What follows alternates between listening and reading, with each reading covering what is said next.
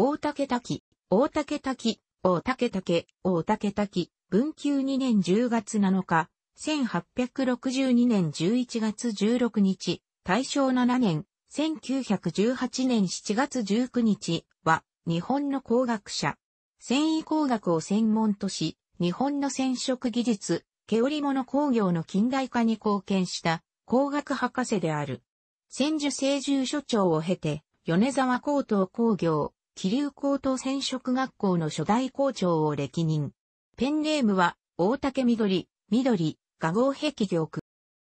父は、会津藩士、松田敏蔵である。会津時代の松田家は500円付近にあったが、藩の蝦夷地支配に従って同地に赴き、大竹は、現在の北斗市に生まれた。四男であった大竹は、慶応3年、1867年に、同藩士、大竹作右衛門の養子となる。長慶清助は、鳥羽、伏見の戦いに参戦し、函館戦争を戦った。養父の作右衛門も会津遊撃大使として、函館戦争まで戦っている。作右衛門は、都南藩会計係を務め、いくつか事業に失敗した後、海藻業で成功した。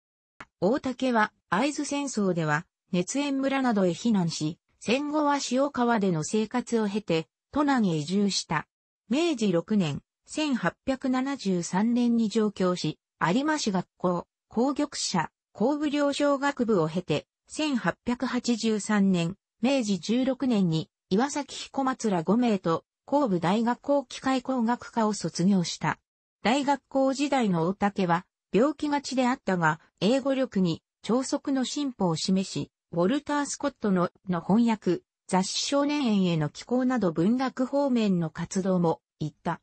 佐々木信綱によれば身体師匠にも関わっている。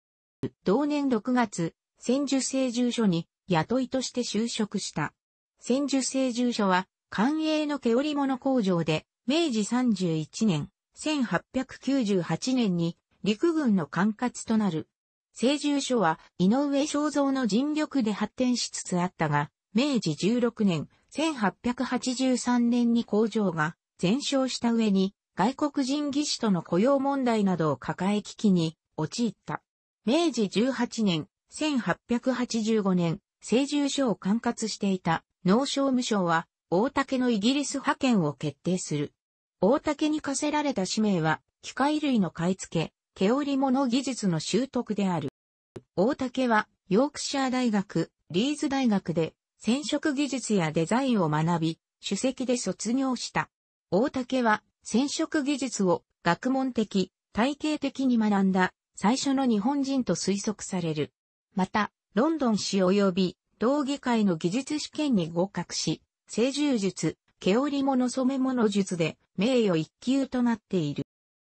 なお、この時期に英国留学していた者に、間野文治や末松県長がいた。後に、大竹の長男虎尾は、抹消の幼女沢子をめとる。虎尾は、東京専売局長を務めた大倉官僚で、著書に経済学概論などがある。次男は、創生、三男の千里は、音楽家となったがパリで隠しした27歳。虎尾と沢子の間に生まれた大竹俊樹は東北大学工学博士である。大竹と虎尾は、会津会会員であった。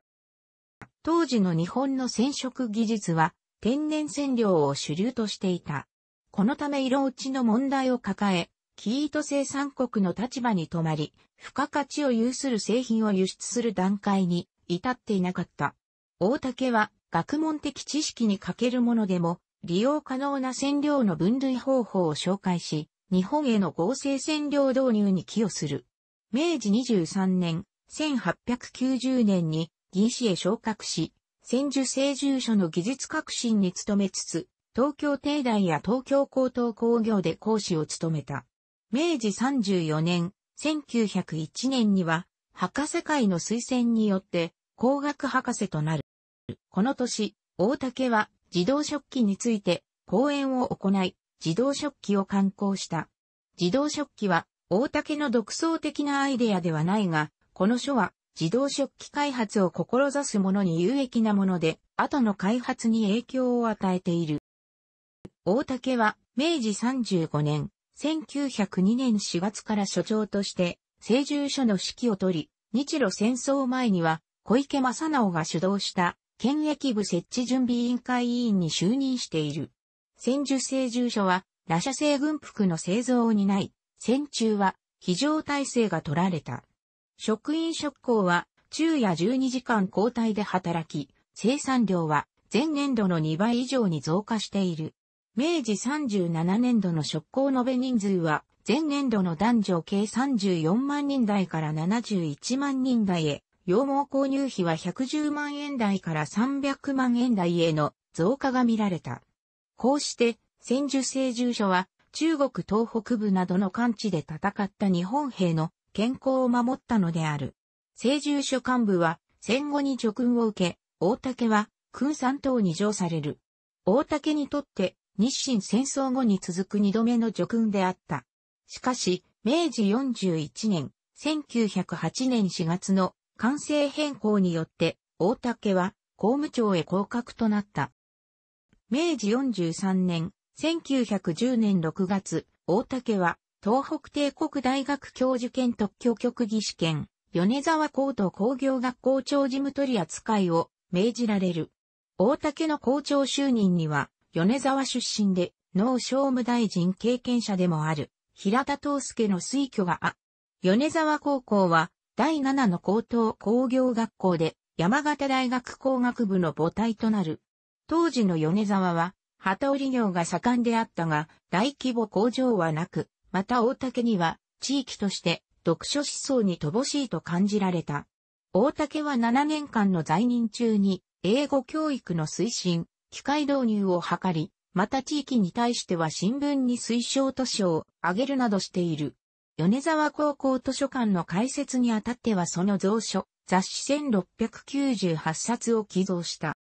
地元との関係は良好であったが、染色化及び紡績化廃止案には反対を受け、良化は存続となっている。ただし、大竹自身は以前に米沢高校と同種の学校が創立されることへ反対の意思を示している。当時の地元紙に大竹批判の記事はない。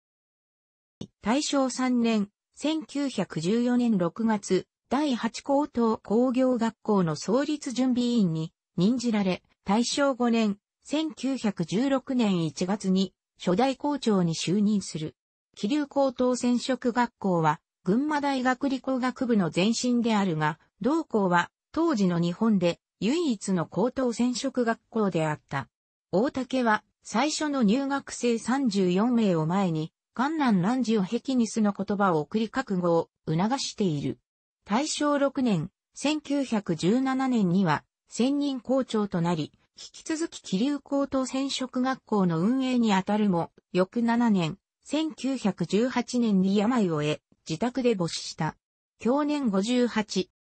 楽しくご覧になりましたら、購読と良いです。クリックしてください。